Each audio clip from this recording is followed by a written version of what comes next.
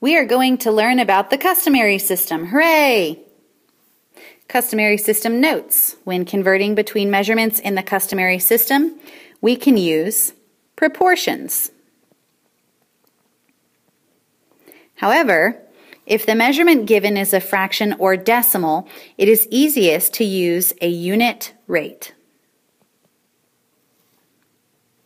Let's practice by converting 252 inches into feet. My first step is to identify the strategy I'm going to use to solve the problem. 252 is a whole number, so I'm going to use a proportion to solve. So the first thing I want to do is write this as a proportion. 252 inches over feet. Well, I don't know how many feet that is, so I'm going to put an X there because it's an unknown. Remember that a proportion is two equivalent ratios, so I need to put an equal sign and I need to write another ratio.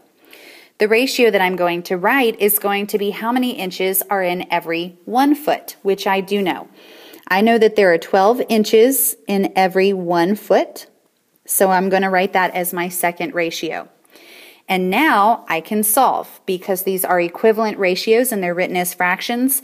That means I should be able to take the numbers in the first fraction and either multiply or divide to get the numbers in the second fraction. So I should be able to multiply or divide 252 by something to get 12. Well, in order to find out what that is, I'm going to do 252 divided by 12 to see what I would multiply, or not what I would multiply, but what I would divide 252 by to get 12. And that's 21. So 252 divided by 21 equals 12. Well, whatever I do to the numerator also has to be done to the denominator. So x divided by 21 is going to equal 1. So we need to find a number that, when you divide it by 21, will equal 1. The only thing divided by 21 that equals 1 is 21. And then we have to go ahead and label 21 what? 21 feet. And then we'll put it up here in our answer blank. Let's try this problem. We have 75 hundredths of a pound and we want to convert it to ounces.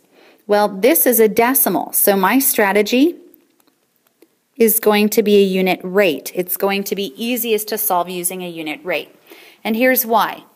Because decimals can be written as fractions.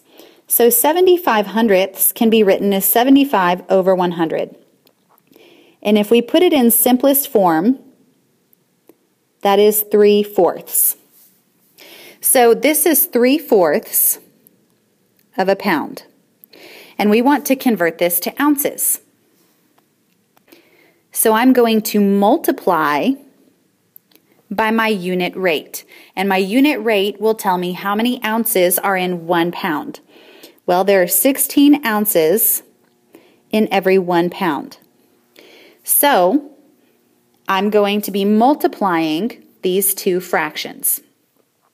Well, we know how to multiply fractions. I'm going to look at my diagonal pairs and see if I can cross simplify. 4 and 16, there is something that goes evenly into both 4 and 16, and that is 4. So 4 divided by 4 is 1. 16 divided by 4 is 4.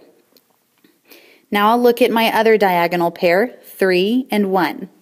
And the only thing that goes into both 3 and 1 evenly is 1. Well, 3 divided by 1 is 3, and 1 divided by 1 is 1, so I don't need to change anything. So now I'm ready to multiply straight across. 3 times 4 is 12. 1 times 1 is 1. So this is 12 over 1, and then I want to figure out what my unit is.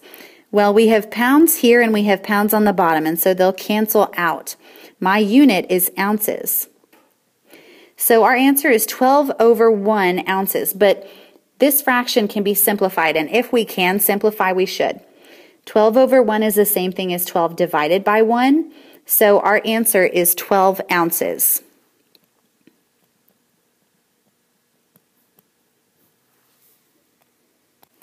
Now we will convert 144 inches to yards. And we have to choose our strategy. Because this is a whole number, what strategy do you think we will use? If you said proportion, you are correct. Good job. So we're going to set up a proportion. 144 inches over some unknown number of yards. So I'm going to put X yards. And then I'm going to put an equal sign because it is a proportion. And then I need to write another ratio. And this ratio is basically going to be, um, and I just realized something. We don't know how many inches are in every yard, but I do know how many inches are in one foot. So I'm going to change this on the bottom to feet. 144 inches is how many feet? So this step is actually going to be multiple steps. This problem will be multiple steps. I'm going to write the next ratio as 12 inches in every one foot. And now I can solve my proportion. So why don't you pause and solve the proportion and press play to check. So once I solved this proportion, I got 12 feet, but it's asking us for yards. So we need to take it a step further. We need to set up another proportion to convert our feet to yards. So I know now that there are 12 feet, but I still don't know how many yards. So I'm going to write yards down here, X number of yards, set up my second proportion, and now I'm going to write how many feet there are in every yard. There are three feet for every one yard. So now I can solve this proportion and that will give me my answer. Go ahead and pause to solve and press play to check. So I got four yards. So sometimes we will end up having to write two proportions and do our problems in two steps. And this was an example of one of those problems. Let's try one more. Here we have one and a half quarts equals, we don't know how many cups, and I need to choose my strategy.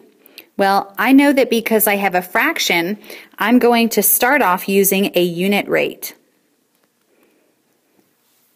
Now, 1 and 1 half is a mixed number that can be written as an improper fraction, which is 3 halves, or 3 over 2.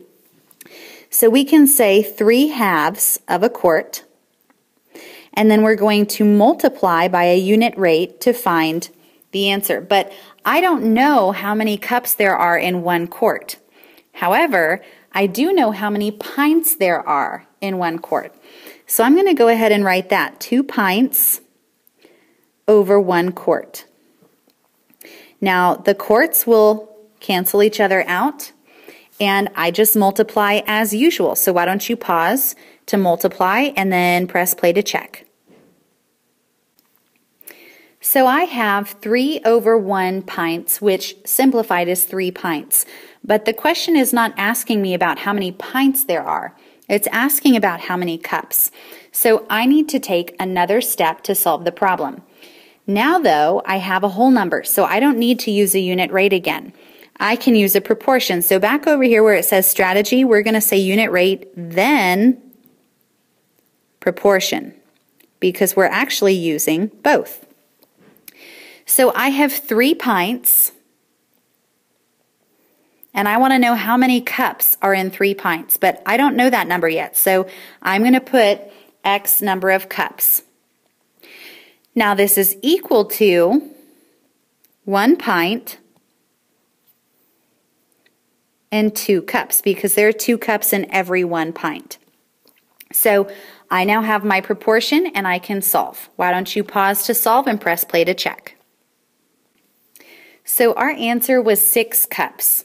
Now, I'm going to stop the video here and in the next video we're going to discuss the word problems on the inside of your notes booklet.